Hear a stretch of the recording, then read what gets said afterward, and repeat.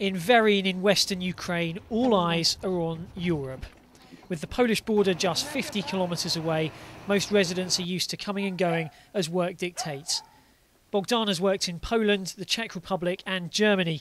Now, like many here, he's bringing up his two children alone in a single room.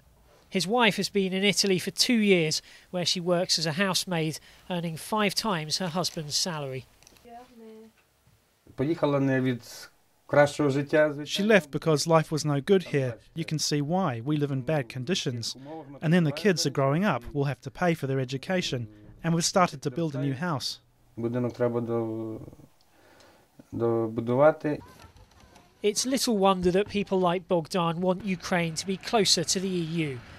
When they vote in presidential elections on Sunday, most people in this area are opting for Yulia Tymoshenko, the most pro European of the candidates. Frontrunner Viktor Yanukovych isn't popular. He'd rather see Ukraine developing stronger ties with Russia.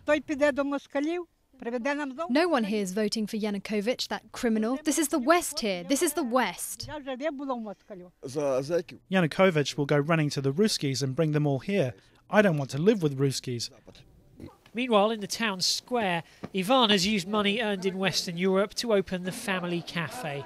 The name is a wry gesture for a man who's only seen his wife sporadically over the past 10 years. He too is hoping these elections could mean Ukraine draws closer to Europe. We want European values to hold sway in Ukraine. We want to live like they do in Europe. How could we think otherwise? We live in Europe. Time and history might have separated us, but it's obvious we're in Europe.